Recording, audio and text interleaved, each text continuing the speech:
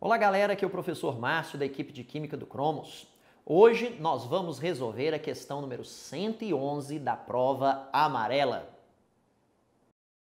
Então, nessa questão, nos é informado que a hidroxilamina vai ser um composto extremamente reativo e vai reagir com o anidrido acético, conforme essa reação que nós podemos observar.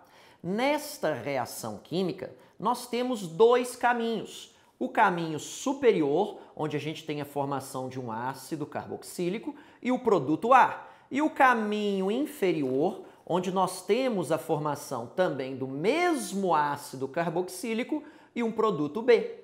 Contudo, pela lei de Lavoisier, como nós estudamos de forma enfática nos extensivos e no intensivo, vai dizer para gente que na, numa reação química, a quantidade de átomos que existem no reagente também tem, devem estar presentes no produto.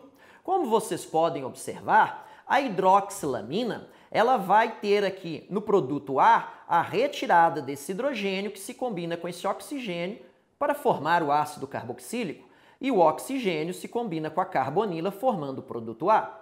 No caminho B, nós temos um hidrogênio se desprendendo do nitrogênio para que o nitrogênio forme o produto B, ligando com a carbonila. Logo, a presença de hidrogênio ligado ao nitrogênio e hidrogênio ligado ao oxigênio se faz necessário para que essa reação se processe de uma forma eficiente. Portanto, o enunciado da questão vai nos solicitar que, dentre as moléculas testadas, qual delas apresentou menor reatividade?